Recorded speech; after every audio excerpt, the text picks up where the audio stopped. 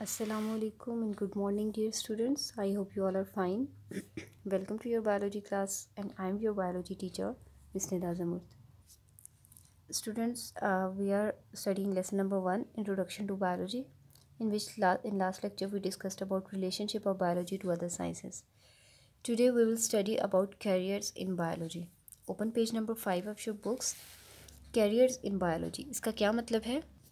इसका मतलब ये है कि जब आप बायोलॉजी का बेसिक नॉलेज गेन करते हैं ठीक है? बायोलॉजी को एज सब्जेक्ट आप अडॉप्ट करते हैं at your secondary school level तो उसके बाद हायर सेकेंडरी और then graduation and post graduation में क्या क्या इसमें कैरियर्स हो सकते हैं क्या क्या डिपार्टमेंट्स uh, हो सकते हैं जिनमें आप जा सकते हैं कौन कौन सी फील्ड्स में आप फर्दर प्रोसीड कर सकते हैं अकॉर्डिंग टू योर इंटरेस्ट तो इसमें आज हम इसी को डिस्कस करेंगे कि बायो में आगे इसका स्कोप क्या है, ठीक है? जब हम बायोलॉजी को पढ़ते हैं एज अ सब्जेक्ट लेते हैं तो क्या स्कोप है अदर देन डॉक्टर्स ठीक है? क्योंकि बायोलॉजी को इसी तरह से कंफ्यूज किया जाता है कि बस बायो पढ़ ली तो एमबीबीएस ही करना है डॉक्टर ही बनना है। नहीं बायो इससे कहीं आगे है, कहीं वसी एक आप कह लें डिसिप्लिन है, ठीक है? तो इसमें मैं आपको डिफरेंट उसके बारे में बताऊँगी डिफरेंट डिपार्टमेंट्स के बारे में कि जहाँ पे आप स्पेशलाइजेशन कर सकते हैं and then you can get jobs over there It is essential that students of today who will occupy positions of leadership tomorrow have the background of the modern and forward looking branches of science. An accurate and modern knowledge of biology will promote a comprehension of both science and scientific research projects. It will benefit the learners in diverse list of careers. The following are the careers that a student of biology can plan to adopt. ठीक है? यानी कि जब आप science पढ़ते हैं science की कोई भी ब्रांच पढ़ते हैं लेट से बायोलॉजी की बात कर लेते हैं तो उसका आपको आ, सबसे पहले तो बेसिक नॉलेज के बाद आपको नॉलेज की एप्लीकेशन पता होनी चाहिए कि आप कहाँ कहाँ पे इस नॉलेज को अप्लाई कर सकते हैं।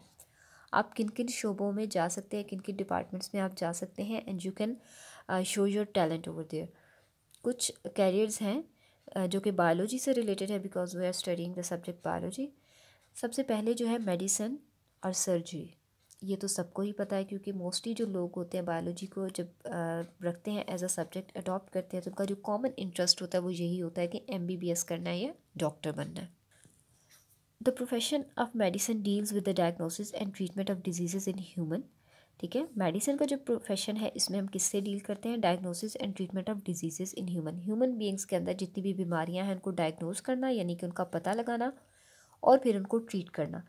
ये हम किसमें डील करते हैं? Profession of medicine and then second one is the profession of surgery surgery की फ़ील्ड में क्या होता है कि बॉडी पार्ट्स को या तो रिपेयर किया जाता है, यानी कि बॉडी पार्ट में कोई अगर डैमेज हो जाता है, कोई भी बॉडी टिश्यू हमारा डैमेज हो जाता है तो उसको ऑपरेशन के थ्रू रिपेयर किया जाता है।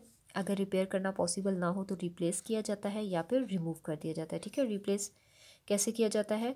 फॉर एग्ज़ाम्पल अगर किसी की किडनी बिल्कुल फेल हो गई है, वो वर्क नहीं करी तो उसकी किडनी निकाल कर उसको किसी हेल्दी डोनर की किडनी लगा दी जाती है, ठीक है?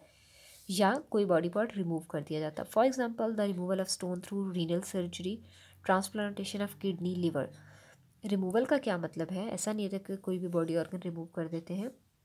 जैसे किडनी में स्टोन्स बन जाते हैं तो उन स्टोन्स को सर्जरी के थ्रू या ऑपरेशन के थ्रू रिमूव किया जाता है।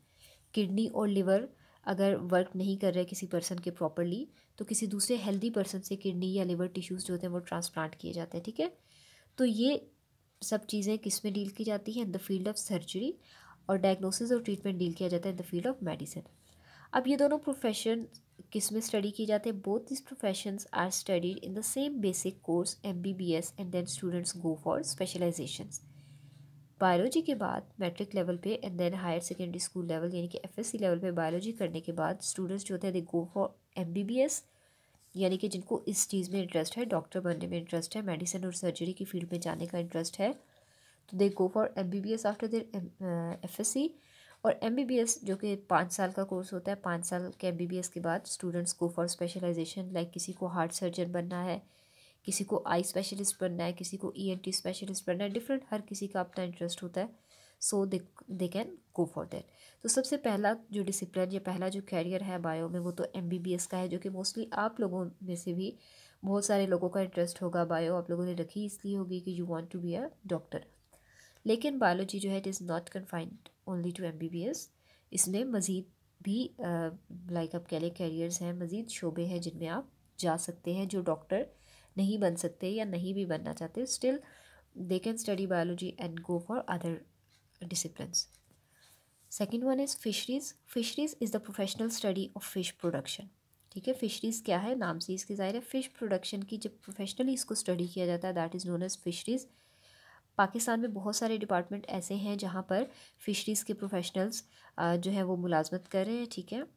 They are serving over there they serve for enhancing the quality and quantity of fish production in Pakistan this profession can be adopted after the bachelor of masters level study of zoology and fisheries fisheries क्या है fisheries है professional study of fish production जिस तरह से आप देखते हैं ना कि डेयरी फार्म्स होते हैं वहाँ पर कैटल्स को रखा जाता है मिल्क प्रोडक्शन करवाई जाती है एक एक हायर लेवल पर उसके बाद फिर उससे लाइक आप कह लें कि कंट्री की इकोनॉमी को बेनिफिट होता है।